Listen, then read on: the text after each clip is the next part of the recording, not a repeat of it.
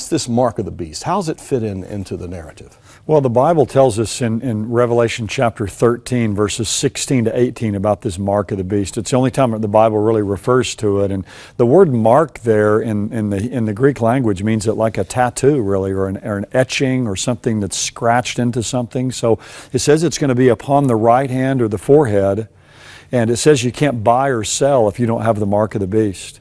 Now, people wonder all about this is some kind of chip that's under the computer skin chip. or computer chip or barcode. There's been all, all kinds of speculation. In fact, uh, we were talking earlier about a friend of ours, Dr. Harold Willmington. Yeah. He used to always say there's been a lot of sick, sick, sick about 666. and I always like that because the mark of the beast is 666 there in, in the book of Revelation. And what I think this is, is it, it says there that it's the number of a man's name. Now, some have taken 666 to be one short of 777 seven. In other words, God is perfection with seven, and this shows that this Antichrist who says he's God is actually 666. But I think it's actually going to be the numerical value of his name. In other words, you can, like in the, the Greek and Hebrew language, you can take the letters of the alphabet, they have numerical value. And so you can take a person's name and actually add that up and you come up with a number. So I think his number will, his name will actually equal 666. That's how he'll be identified. So when people take that mark on their right hand or forehead, they'll actually be taking his name upon them, which pictures the idea of ownership. Is this during the time of Antichrist, when Antichrist is yes. at, its, at his prominent place uh, in the world of leadership and, and basically the execution of how economy is done will be through this mark? That's right. It's going to be that last three and a half years, I take it, of this coming time of seven years of tribulation on the earth when he's going to rule the world. So not only will there be a one world government, but there will be a one world economy. And we can see how that can happen today very, very easily. What is the mark of the beast?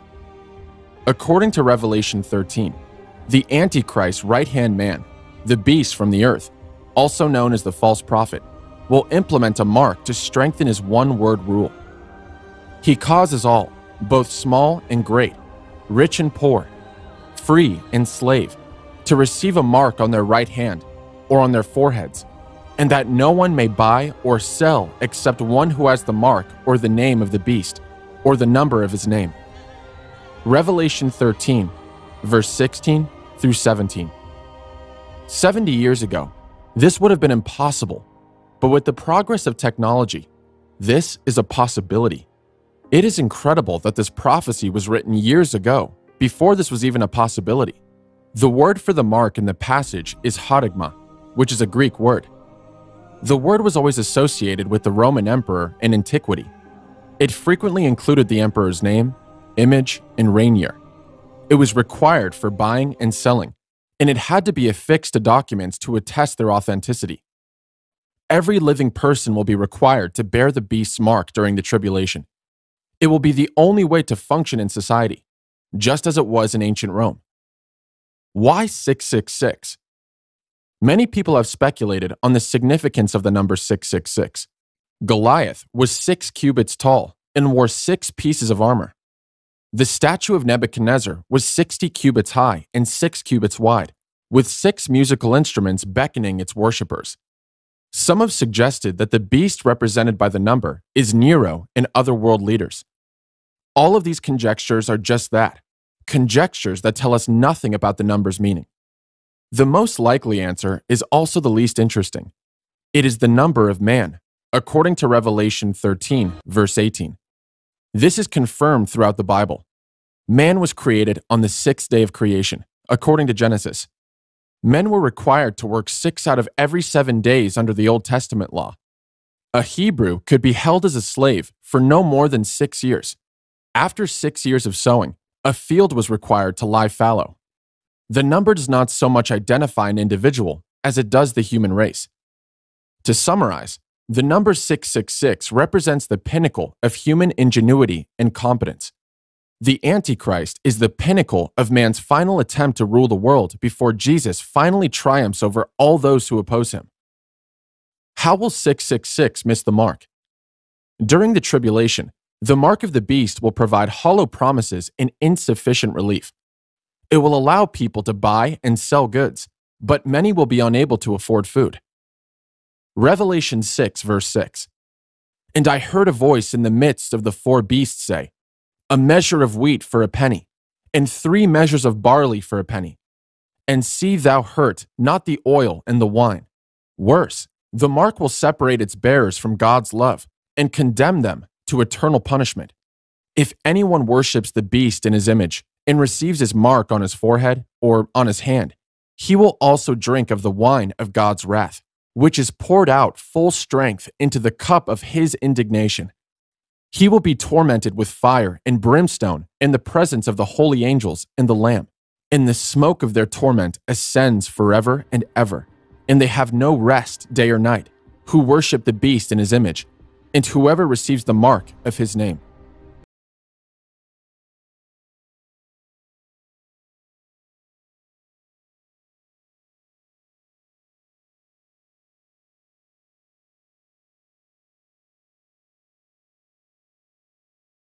Humanism is a philosophical stance which affirms the fact that humans have dignity and worth and that they are capable of discovering truths about the world and humanity's place within it purely by appealing to reason and scientific method. In humanism, there is also the emphasis on faith in humanity and a concern for building a more humane and just society. The humanists are usually non-religious people who believe that the universe is just a natural phenomenon with no supernatural aspect. Hence, the humanists view the world from the vantage point of reason and scientific method. This naturalistic and scientific view of the world has deep implications in how the humanists view the human person. On the one hand, the humanists see the human person as not distinct from the rest of nature. For the humanists, the human person is nothing but a purely worldly creature whose existence is a product of purposeless natural processes over a long period of change and development. For this reason, the humanists have a perfect feeling of being at home in the world. As Andrew Copson writes, the universe, thus discerned by our senses, appears a natural phenomenon behaving according to the principles that can be observed, determined, predicted, and described. This is the universe inhabited by the humanists. On the other hand, because the human person is not distinct from the rest of nature, and that her existence is a product of a purposeless natural processes, the humanists reject the idea of a meaningful life. For the humanists, therefore, the idea of a meaningful life as part of a divine plan is inconceivable. The only purpose or meaning in life is the one created by humans themselves. This explains why in humanism People make their own purpose in life, set their own goals, and give meaning to their own life. The issue with humanism is that it tries to knock God off the throne. And, it's, and when we look at the Bible, the Bible talks about Lucifer, whose name is the devil. Um, and his attempt was to ascend to the Most High and sit on, the, on both sides of the north and basically replace God. This is and it's the same spirit, it's the same subverts mindset. God, right? Exactly. In Scotland, it has in, it, it, has uh, bolstered.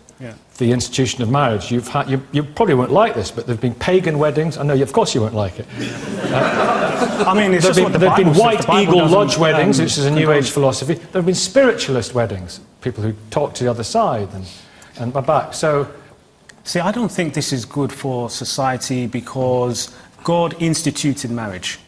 God, based on the Word of God, based on the Word of God, He brought Adam and Eve together.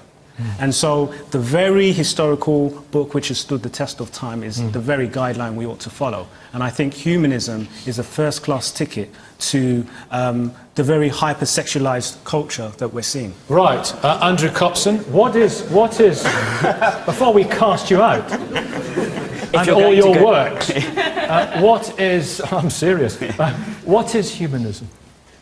Um, well, if you're going to go to wantonness and debauchery, I suppose you might as well travel first class. And I think, I think that, that humanism is, in a genuine sense, more of a first class worldview than has been depicted. Humanism is the non religious worldview that instead of looking to revelation or authority, we look to reason and evidence to understand the universe. Instead of looking to moral rules that come from outside human beings, we look to other human beings to generate values in the here and now and also to generate meaning in our life. Instead of looking externally for some meaning to give value and sanction to the existence that we're having, a humanist view is that men and women in the course of our lives create and sustain meaning together by giving our lives purpose and a sense of fulfillment. Now, I think that that is a, a very satisfying worldview, a worldview that has made a massive contribution to human uh, progress and achievement. It's a worldview that is held by a very large number of people in Britain, over a third in opinion polls, by many people Do you think a lot of those people would not uh, call themselves humanists? They I- don't know they're humanists. That's right. I think that's a very interesting point of view. I mean, uh, about 40% of people in Britain share those attitudes and beliefs and values, but No only about sorry. 5% of people call themselves humanists, which is about the same number so- as. Hold on no, a minute. so I disagree. I don't- Well, I don't- You I can't don't- I disagree don't- with a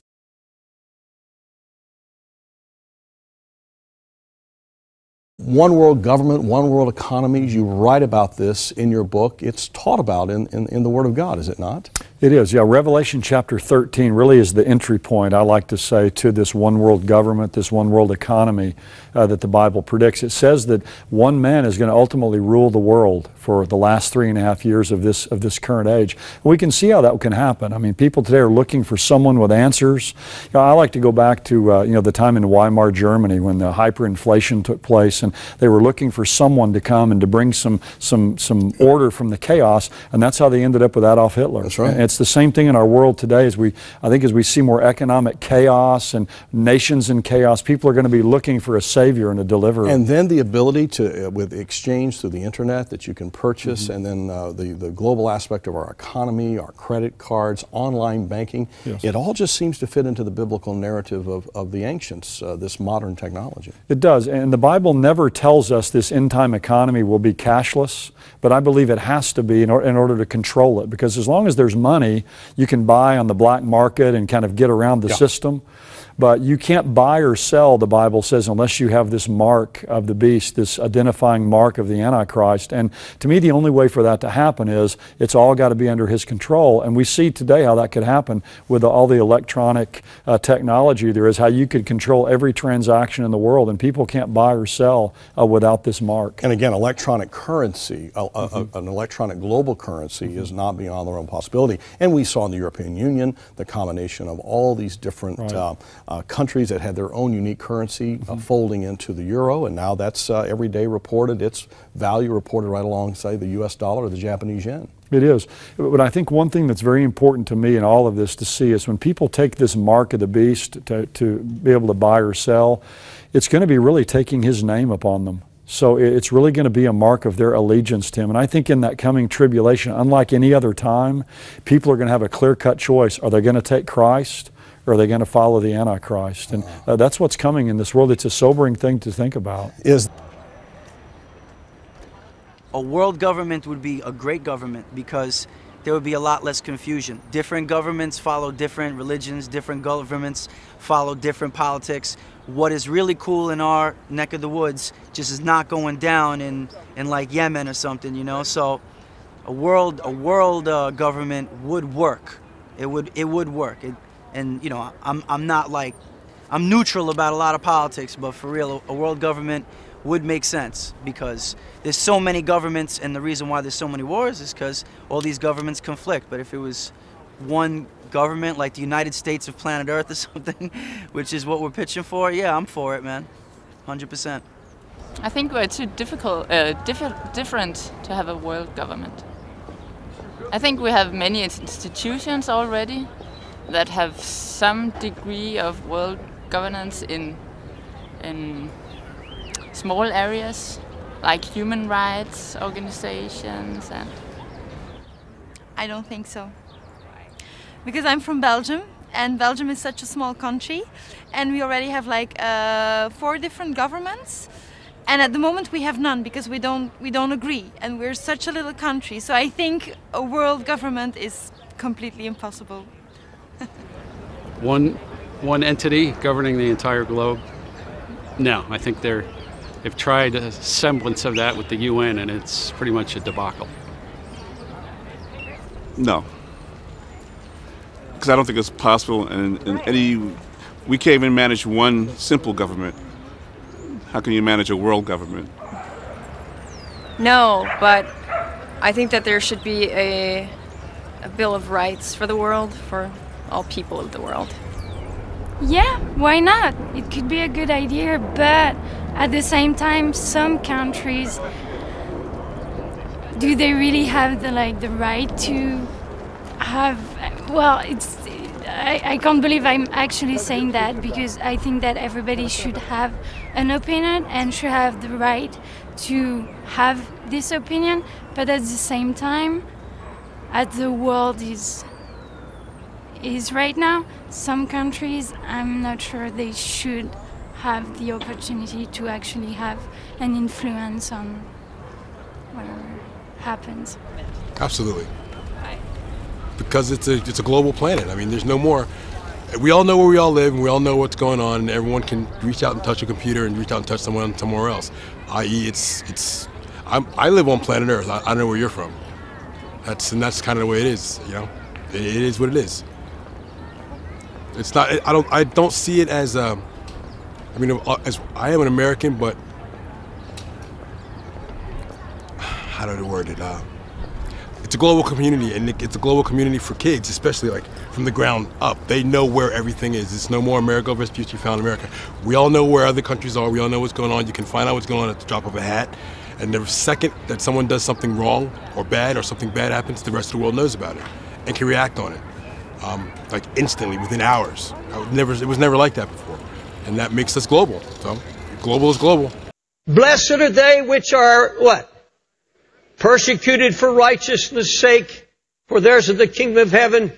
Blessed are you when men shall revile you, persecute you, and do what? Accept you and bless you and congratulate you. No, they shall say all manner of evil against you falsely for my sake. What should say? Rejoice, be exceeding glad, for great is your reward in heaven, for so persecuted they the prophets which were before them. Now folks, I know that some churches and some Christians are persecuted for their stupidity. They're, they are persecuted because they have unfair dealings with their friends or, or in their business dealings or they, they, they are adulterers and they're, uh, uh, for example, or, or, churches that are just doing foolish things and, and they're hated and they're despised for that. But I'm talking about those who have a heart for Christ. They're preaching a pure gospel and they have a heart for a lost world. Bible says the closer you get to the mission of Christ, the closer you get to preaching the gospel that He's ordained, the more hated and the more despised you will be by the world. Why does the world hate the church and its pastors and its parishioners? What's the cause of this hatred? Jesus said, if the world hates you, you know it hated me before it hated you. The servant's not greater than his Lord. If they persecuted me, they will also persecute you. You see, the church and every true Christian, every true believer is hated because of our mission. I want to talk to you about the mission of the church and show you why, if you're truly obeying the true mission of Christ, to a lost world, you're going to be marked. You're going to be persecuted on the job. You're going to be persecuted in the church. and, and, the time will come, the closer we get to fulfilling God's mission in New York, When you mention Times Square Church, you're going to people see their eyebrows go up. Oh, oh, that church. Because you see, we're going to be taking a stand against the powers of darkness as we've never taken it before. And all hell's going to get angry. And everyone is walking with the enemy and a rejecter of Jesus Christ is going to be an enemy. You're going to find enemies on the job. You're going to find enemies everywhere because you're fulfilling the mission. Now let me talk about this mission, and some of you are going to be a little horrified by what I'm saying. You're going to draw back and say, well, wait a minute, brother, that's too strong. But what is my mission as a pastor? What is your mission as, as, as, as a witness for Jesus Christ? It's more than going out and just telling people Jesus loves you. It's more than trying to, to give people examples of how much you suffer so they'll have pity on you so they'll listen to your gospel. Oh, oh, oh, my, my, my mother just died and I'm feeling a little sad, but I want to tell you how Jesus can comfort. It's more than that. That's fine, but it goes far beyond that. Our mission is to take from un- ungodly men that which is dearest to their heart. Their self-righteousness. You, you're, you're commissioned to go and tell men who have spent a lifetime believing that they're doing good and that they're achieving something. I'm kind to my family and I'm kind to people and they spend a lifetime building up what they believe is integrity and you come along and tell them it's filthy rags. You, you come to translate people out of the kingdom of darkness into a kingdom of light, that kingdom of light that they think is nothing but bondage and suffering. You're taking away from their freedom. More than that, you, you've been sent to execute them. To kill them. How, what do you think if people come in and they hear us talk about dying to, dying to the world and dying to sin, being crucified? You say, wait a minute, isn't that our mission? Isn't this our mission to show them that you have to die to sin and to self-will and to self-independence and you come along and they have spent their lifetime killing their conscience, searing it, and silencing a voice, and you come along with a voice louder than their conscience. And say without Christ, and say it as lovingly as you can. Say with tears in your eyes, but you are speaking a voice louder than their conscience, and they have spent a lifetime achieving this false peace, and you come along saying, without being born again, you're a rebel.